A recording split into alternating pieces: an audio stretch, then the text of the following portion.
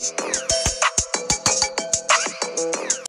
ចាជំរាបសួរបងប្អូនជួបនាងខ្ញុំសាជាថ្មីម្ដងទៀតហើយជាមួយមុខម្ហូបធម្មតាធម្មតាសាមញ្ញដែលបងប្អូនយើងអ្នកណាក៏ចេះធ្វើដែរប៉ុន្តែនាងខ្ញុំមានមាន់អាំងអំបិលម្ទេសចង់ដឹងថាមាន់អាំងអំបិលម្ទេសរបស់នាងខ្ញុំធ្វើយ៉ាងណាអញ្ជើញទៅទស្សនាទាំងអស់គ្នា ជាដំបូងខ្ញុំលាងមាន់ហើយលាងទឹកឲ្យស្អាតពុះវាជា2បន្ទាប់មកខ្ញុំដាក់គ្រឿងមាន គល់ស្លឹកគ្រៃមានខ្ទឹមម្ទេសហើយនិងស្លឹកក្រូចបន្ទាប់មកបុកឲ្យម៉ត់បន្តិចនាងខ្ញុំដាក់អំបិលស្ករប៊ីចេងហើយនិងម្សៅស៊ុបចូលដើម្បីប្រឡាក់មាន់យកទៅអាំង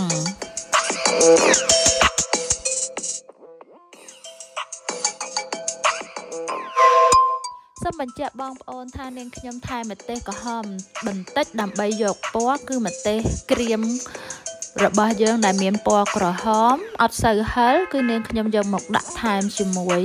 អឺគ្រឿងផ្សំនឹងបន្តិចដើម្បីប្រឡាក់មាន់យើងទៅឲ្យមានពណ៌ដែលរាងក្រហមគួរឲ្យទទួលទាន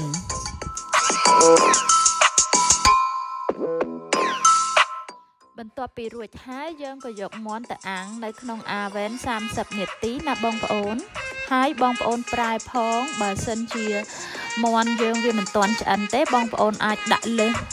ពីហ្នឹងក៏បានដែរថែម15នាទីបន្ថែមទៀតទៅ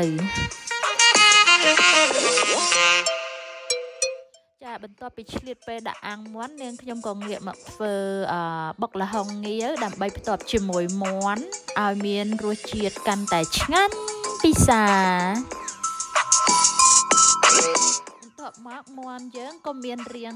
រាងខ្លោចគល់ស្លឹកគ្រៃនិងគ្រឿងខាងលើប៉ុន្តែមិនអ្វីទេយើងអាចយកវាចេញទៅហើយយើង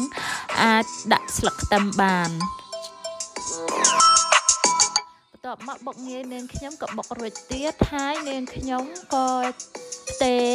ដាក់នៅក្នុងថាសវិញមើលទៅវាតំណងជាង ចាវាអត់ហៀតទឹកបន្ទាប់មកថែមពោតបន្តិចបន្តិចឲ្យមានសពន្ធភាព